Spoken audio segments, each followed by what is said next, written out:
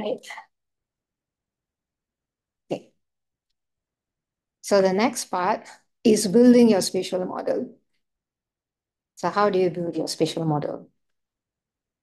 So today's uh, this module's objectives will be to understand the basis of normalization and also to apply these normalization methods and then to understand the principles behind building your spatial model and other various modularities. So first, I am going to start off with a little lecture. right? So this is a typical workflow for your single cell RNA sequencing. So you have your tissue, you dissociate your tissue, and then each cell hypothetically becomes a droplet or it falls into a single well in a plate. And then you do your reverse transcript uh, transcriptome uh, generation, and then you have your cDNA, and then you amplify it, and then this amplification bias is reduced for those uh, techniques that use UMI. And then you sequence it off, all right? So the common problems that we encounter usually is the fact that we often forget that there was a lot of molecular biology in these techniques, right? So your reverse transcriptase, your incubation times, all of this actually does vary, right? And your cell types will vary. So there are variations in your capture rate, and there's amplification bias if you don't have UMIs, and then there's GC content, go on and on and on, right? And then there are library size disparities, all right, based on your sequencing depth. And of course, we know that single cell data, many of us would know that it is sparse. It's a lot of zeros, all right? And oftentimes this sparse data is thought to be just a manifestation of the biology itself. Now, what's different about um, spatial data? So you have your array-based spatial data. Now, array-based means STOmics or SlideSeq or Visium HD. They're all array-based because you are defining a region, right? And then you are just creating a library set from those regions, and then you are sequencing it. Maybe not so much for SlideSeq, but for STOmics and Visium HD, maybe I should take away SlideSeq from that. And then Visium and your GeoMx. So the principle is the same. It's just that your size of your array is just different. And then it's the standard sequencing by spot. Right? And you kind of pretty much have the same type of biases, except that there is positional bias that we generally do not take into account when we normalize these data sets. Um, I know only one such uh, method from stLearn that uses your position to normalize the um, RNA um, expression or RNA counts, but no other methods. And I've not really read any benchmarking uh, papers on that because we really lack the methods that includes positional bias. Now you have your single molecule imaging-based spatial technologies. So you have Xenium, your CosMx, your Merscope, and then you have a whole plethora of very interesting name-sounding um, technologies as well. So in this case, you're not creating libraries from captured mRNA. This is basically just pure, pure images of your single molecules. So each transcript that you detect is a binary call, all right, based on your code word, on your decoded code word. And there are things that you don't take into account as well. One thing is your optical budget. What's the upper limit of the optical detector, all right, of the microscope that you're using? And then there is positional bias as well. So when you do normalization, all right, many of you would, uh, just a second, Javaria, the uh, Wi-Fi just went off on the can you get help from me? Okay. So when you correct for these biases, all right, so we have plenty of normalization methods um, that have been developed to correct for these biases. So these are basically you want to um, distribute, all right? So any kind of errors that you get from your capture rate, you want to distribute it, all right, so that it kind of averages out. And you want to reduce your amplification bias, and you want to reduce library size disparities so that whether it is your low expressing genes or your high expressing genes, or whether it's cells that have uh, more counts as compared to another cell, everything is kind of evened out so that you can look at your data in equity. So I call this data analysis equity. Now the biases that are left uncorrected for spatial, I'm going to go through some of these. So let's look at these. Now positional bias, you've already encountered one positional bias, all right? And I've given you this example. So your cell density will matter, all right? Now, one of the things that is um, going to affect or kind of, um, I won't, I should not see kind of um, emphasize this positional bias is your gene panel bias. So when we design or when we use a custom panel, not a custom panel, a generic panel from 10x or from any of the, uh, what do you call it, the platforms out there, they claim that it will be a generalist panel, all right? But what is a generalist panel, really? All right. So if you have a generalist panel, the assumption for a generalist panel is that it will pick up some genes from every single cell type that is in your sample tissue. But with 500 genes, can you guarantee that? I don't think so. 5,000 genes, can you guarantee that? I'm not sure. So I won't answer that question. Maybe. All right. But the thing is, the chances are, as your gene panel increases, your coverage is going to be more well distributed for a generalist panel. But for those of us who have designed custom panel, like I said, I designed a custom panel for GBM. It worked on one set beautifully, and it kept failing on the other set. All right. So the thing is, with with that gene panel bias, and there's this paper that I would really like um, everyone to read. Um, she has kind of uh, shown that you will skew the results of your analysis, all right, if you do not take into account your, your design of your panel. Now, I'm not saying that if you really need to design your panel and you really need to skew it towards a certain cell type, I'm not saying don't do it. I'm saying make sure that you perhaps you want to just focus your area of study, all right, on just that region alone. Or if you want to normalize and you still want to do a whole um, sample evaluation, ensure that you have your other, what do you call it, um, other analysis or your annotations in place. Make sure that your cell types are well annotated so that you don't rely too much on clustering because things like clustering, PCA, they are all very driven by the natural patterns that exist. So if something is skewed, they will pick it up. All right. So these are some things that you really have to understand. So do not just translate from your single cell over to your spatial. So just think about this. If this is a Visium HD, it doesn't matter all right, of Visium, right? But it's just that because of the nature of these single molecule platforms, just have to be a bit extra uh, careful. All right. Now, what about cell segmentation and diffusion? My cell segmentation will vary for every type of cell segmentation method that I use.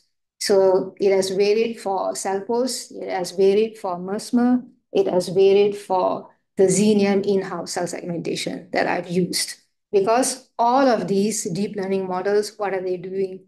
They are predicting the boundary, right? They're predicting the boundary based on certain optimization algorithms, all right, which is based on neural networks, all right, within these algorithms. And as fancy as neural networks might seem, not everything that is neural network works well, all right? All right, they are not exactly going to be efficient all the time. Now, closely related to the point of cell segmentation is the concept of diffusion. Every single vendor will tell you that their method will not lead to transcript diffusion. That's not true. All right, there will always be transcript diffusion. You can control it, all right? as our methods improve, all right, as we prepare our tissues, all right, fastidiously, like how it was outlined in module one, you can limit all of this, but you cannot avoid it. And it will vary by the tissue as well. It will vary by the site. So like for instance, if you were to perform xenium on the cortex, if you compare your mouse tissue, if you if any of you have done mouse tissue samples, all right, if you go and compare your cortex versus the subventricular zone, all right, you will see that there is a total counts disparity. And you can come and tell me which is messier and which is neater because the cell types will affect all of this, right? And of course, things like liver, the intestine, and the neater and the more defined your tissue is, you can also kind of assume, right, where your boundaries should lie. But for those of us who are doing cancer research, it's not that simple, okay? And then there is this thing with gene coverage. So it, it does matter. So when I when I first got my uh, panel and I plotted my gene expression by the gene coverage distribution. So for sure there is more dropout and my gene coverage is one, two. All right. So then the concept comes about, all right, is is my uh, is spatial really as zero inflated as my single cell? Because I'm controlling for my probe coverage. The more probes I, I get, the more I'm actually um, forcing transcription from that same transcript, right? So how is this going to affect my normalization? How is it going to affect, let's say, um, rare genes that are expressed? How is it going to affect my differential gene expression, right? I hope I'm not scaring anyone too much. Okay, all right. So now let's review some of these normalization and transformation methods. Now, even though you have these biases, all right, there's one thing that I've noticed as a, as a biologist and also as, as, a, as a computational uh, scientist is the fact that in the end, all of your normalization methods, they are all just models. They're just modeling, all right, and transforming your data in different ways. So the thing is, when there is bias in nature, it tends to even out, all right? So even though you have to um, take into account that your end result and your analysis and your interpretation, you have to be extra careful. When it comes to choosing a normalization method, I actually think it's quite okay to actually translate the single cell normalization methods over into the spatial uh, realm as long as you know that there are limitations and as long as you keep an eye out as the field develops methods to take into account the, uh, what do you call it, the um, other biases that is found in spatial, right? So these are the broad categories of normalization. These have been tried and tested. The favorites are log1p and the Pearson residuals, which many of you would know as SC, transform. All right. So even I didn't know there were so many versions. So this is the delta method where your log1p falls under. Um, it's basically all different versions of log and uh, arc cosine. Arc cosine is something that I've seen be used for IMC data. By the way, if any of you are working on IMC uh, of data, you can use some of those normalization methods you want to try. And then you have your GLM residuals, which are just different versions of your Pearson. Basically, you know, one paper will say that we are the best and we are the great, we have the greatest normalization method. And then someone says that no, a modified version of ours gives a better, uh, what do you call it, uh, resolution but it's just the same. They just vary the, uh, the parameters, that's it.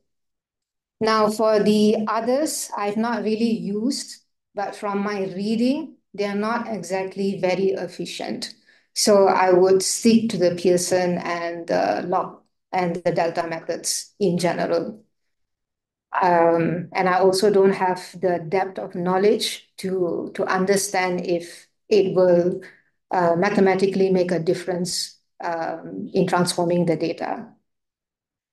So just to reiterate, the reason why we normalize or transform is really to ensure fairness in gene expression analysis. All right. And uh, we want to account if a cell was not sequenced enough and between the different um, expression levels. And also, you want to transform your expression in counts into a number scale that you that is reasonable, right, for your downstream uh, processes. So, like I said, it's about equity in um, your downstream data analysis. And another thing that's important that that I don't think about much, but I think is important is to maintain rank. So it's not just about rank in cell types. It's also maybe uh, can think about it as in terms of rank in cell state. So for instance, for a cell that is actively dividing and then is going into quiescence, these are all different um, states or ranks. And there are some papers which complain that some of these methods kind of uh, misinterpret the rank. And how important it is, I am really not sure. Um, and sometimes I think uh, maybe these papers, they kind of think too much uh, because mathematics is one thing, but each of these mathematical model, just remember they're only modeling one aspect of your biological data, right? Your biological variation is going to be much more robust uh, than that. So for the practical, we're going to test out three different um, methods. So the log 1P, and then we're going to use the analytical Pearson residual method and the reason is because it comes with ScanPy. So that is what ScanPy has. The uh, version in Seurat is slightly different than this, if I'm not wrong. Um, it's just that one of the parameters was dropped in the analytical method, and you can go and read up on that if you're interested. Um, but yeah, I read the papers, and I think it was just a it was just a a matter of making the model a bit more robust towards against overfitting. And then you have your Freeman-Tukey. The reason why I include the Freeman-Tukey is that I really like this uh, transformation. They actually do talk about it a lot in many of the normalization papers that I read when I first started. And I always used to wonder why it was not so much used because it's really easy and it gives pretty much, uh, it can give pretty much good results, as good as log 1P. And sometimes, to be frank, I've, I've come to realize that the simpler the method, the better it is. The complex methods don't really give much more profound information. Yeah, so sometimes it's just better to stick with the simple methods. Yeah, just so that it makes things uh, cleaner and uh, you can also understand. And if necessary, you can then use something complex. All right. So we'll move on to uh, the normalization uh, practical right now.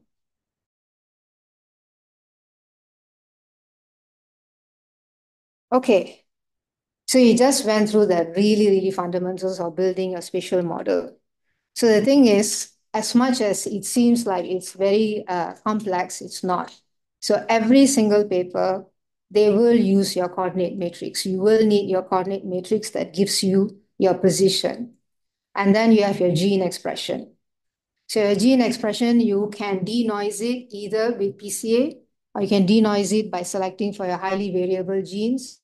You can denoise it and you can, um, what do you call it, uh, simplify it using an autoencoder or any kind of neural uh, networks. But the principle is really the same. And then it's really a fine balance between the two. So these are some classical, so there are three different classes of spatial clustering algorithms that you find out there. So the typical one will only have your coordinate file and it will have your gene expression file. So you have your spatial gene uh, single cell expression and you find your neighborhood graph structure. All right. So this will kind of fix the mat over your, over your tissue. And you don't need an actual tissue image for this. Now, in this paper, what they've done is they've added one more step in order to clean it up. So what they've done is they have created this uh, hybrid adjacency matrix from their neighborhood graph. So they attach their neighborhood graph, all right, and they create these spots here based on how much of gene expression input they want to take in. So it's something like uh, controlling for the gene expression influence and the spatial influence, all right, because it's a balance and different papers do it differently. And then the principal component is that you will always have either a probabilistic model, all right, or you will have a neural network which will look at your feature matrix, which is your gene expression for each cell, which is a node, and then it will compute in, all right, your spatial adjacency map, and this will then give rise to your subpopulations and your Leiden or your, and your and your clustering. All right. So that's really how this is done. And in this case, there's no image input at all. It's just gene expression and my spatial. And then it's just a decision of how much I want to balance the two by having this weight here. And SpiceMix, I think, does the same thing as well. But they use a different kind of, uh, I think they use Markov hidden models for that. Now, in the second type, in the second uh, category of spatial clustering algorithms, you will use an image, all right? So it can be a microscopy image or it can be a H&E image. So why is it that a H&E image or any kind of image is important in spatial clustering? So think about it, all right? In some tissue types, your molecular, your molecular profile is always going to be um, more diverse than your uh, morphology or your anatomical domains, right? And the thing is, you have these well-defined structures in your mouse brain and also in your intestines, all right? So these are all stereotypical structures, okay? So it depends on, on what your thoughts are. For me, I believe that at the end of the day, I have function and I have my molecules. My molecules give rise to function, but my function is limited by my environment. So my function must be related to the structure that it belongs in. So that is where an image comes into play. So in this case, they create a vector of your gene expression, but what they include is that for each window, all right, so there's a 50 by 50 pixel window, and they move throughout the image and then they compute the pixel, the mean pixel expression for each of the channels in your H&E image. And then they attach this value, all right, to your gene expression matrix. And then they compute your graph, and then they perform Leiden clustering. So it's a combination of two, all right? And which one is better than the other? That I'm not exactly sure, but for me, I prefer to use an image to control my spatial clustering. That's because I find these repeated structures in GBM, and so I prefer to have an image to control and guide my spatial clustering. And sometimes you don't need that. You don't need that image. Sometimes the pattern will just fall, especially if you have a very, uh, you have a, you have a tissue that has got very distinct patterns like the liver, for instance. All right. Now, in this case, uh, in the third, uh, so this, so the third category of spatial clustering models that I have started, that I think is coming, becoming increasingly perhaps a bit more uh, rampant, is the introduction of computer vision algorithms or methods into the spatial clustering. So in this case, Banksy, which you will use. So the premises are still the same, right? So you have your gene expression and you have your gene expression of your cell. But what they have done is they have taken into account the gene expression of the environment of the neighborhood. So they do a k nearest neighborhood again, just like the previous methods, and they compute this time the mean gene expression. So this top uh, matrix here is your gene expression of your cell. But this is the mean gene expression of that cell's environment. And what is this third matrix here? You know, why are they making it more and more complex? So in computer vision, in image analysis, there's something that we always do is that we calculate for gradient of expression. We calculate for directionality. All right, because direction matter, matters, right? So this is a Gabor filter. So if I had shown you a picture of a zebra and I apply different versions of the Gabor filter, it will show you, it will highlight the horizontal and the vertical stripes separately to different degrees, right? Because it's the direction of the stripes. So there are vertical stripes and there are horizontal stripes. And in image, this is very common. So there are two papers that I know recently that have that have kind of leveraged on these computer vision algorithms. And one is Banksy and the other one is COVID. I did try COVID, but COVID will crash your your server quite a bit. Yeah, yeah. So yeah, maybe you can try, but not not now.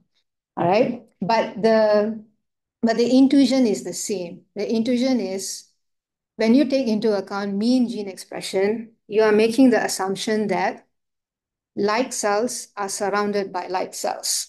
That is not always true. There are gradations. So you can have similar cell types in different environments. And the Gabor filter will pick that up. All right. So there are three different types of spatial clustering. They never move away from these three, except that some really have very complex neural networks.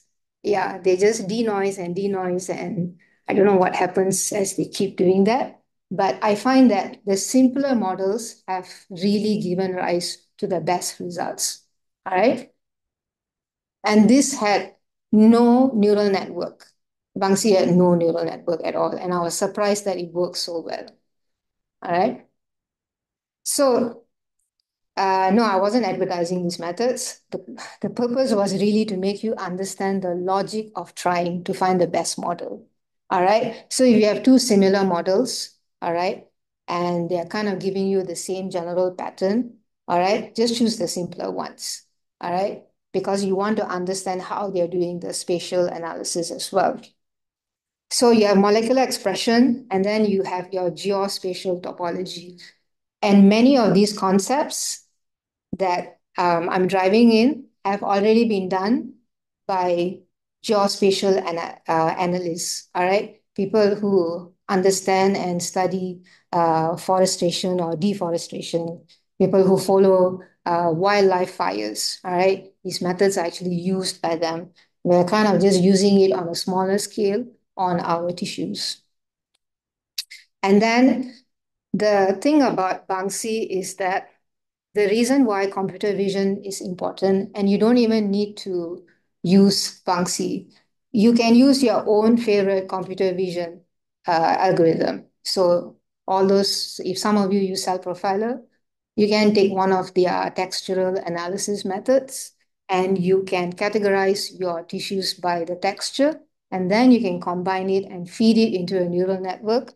And it's really all about what matters spatially to you. All right. And if you're discovering spatial, all right, then maybe the image isn't so important. Maybe you really want to see just organization on its own.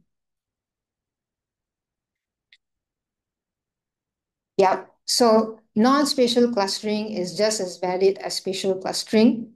All right. So many of these spatial methods, they have been, uh, they're kind of annotated or they're kind of, uh, what do you call it, benchmark on uh, mouse models. And I don't know how to feel about that because no one benchmarks too much on tumors, but when something is organized, it's not a good benchmark, I think, because it's going to work. I think what what we lack is that we don't have enough of testing of these spatial models on other types of tissues, on other types of structures, you know? So if something has been tested on a mouse with all its distinct cortical layers, will it work on another type of stereotypical tissue? So we don't have that kind of benchmark or we don't have much of it. So just remember that when you choose your spatial clustering, give ample time for you to analyze and see how it looks like. All right. And always choose the easier method. Um, to, uh, to, do, to use. And then key questions you have to ask is, what are your spatial questions? Like, are you only focused on molecular expression? Um, do you actually know if a pattern should exist? Okay. So one thing that you can do is that you can anchor certain uh, anatomical points. For instance, your blood vessels. So I benchmark everything around blood vessels. So if I can use my blood vessels as my spatial points, and then I don't even need a spatial clustering. I can just do away with non-spatial clustering. I just want to see patterns of distribution around my blood vessels. But my blood vessels will serve as my, spatial anchor points. So it really is dependent on what kind of questions you want to ask. And also the nature of your tissue type, right? Kidney glomeruli, the liver, the cortical layers of your brain, they work very well with most types of spatial clustering. Okay. Now, differences between treated and untreated. So the problem is if you're doing a model or you're analyzing a Xenium model between treated and untreated, you're, because of the fact that your gene panel is limited, it will suffer, right? Even normalization might suffer. So just be careful that your spatial relationships that you see might have nothing to do with biology just because maybe some genes were missing or total counts just went down. All right. So these are some of the uh, drawbacks in uh, trying to model your, your, trying to see things um, spatially. So start with Leiden clustering, non-spatial Leiden clustering before moving over.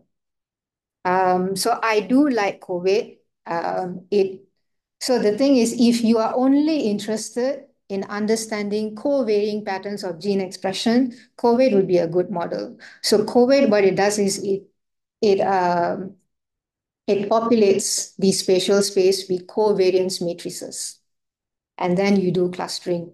So it's just showing, it's just calculating what's my gene uh, variance patterns um, surrounding my my cell I at this point X Y. All right, and if you're only interested in how, in all of that, I think COVET is very direct and you can go online and you can look at it. It's a very direct method. Now, is a little bit more um, sophisticated, all right, because they really have this fine tuning parameter where you can um, kind of control the degree of organization. But like I said, you don't need that. You can use any of the computer vision tools, especially those who are very comfortable with image analysis. And then for cancer, for me, I really like BANKSY, but it doesn't seem to make a big difference. So I might just end up sticking to um, non-spatial. So don't do spatial just for the sake of it. Sometimes it's just the way the nature of the tissue is, uh, that it is just that heterogeneous, all right? And then, um, yeah, these are things I think I have said. Uh, choose the method that is conceptually the easiest and uh, it will make it much easier for you to troubleshoot. And uh, neural networks do not necessarily give the best results, all right? And so on and so forth. And yeah. And then now we will go on to the second part of uh, module three.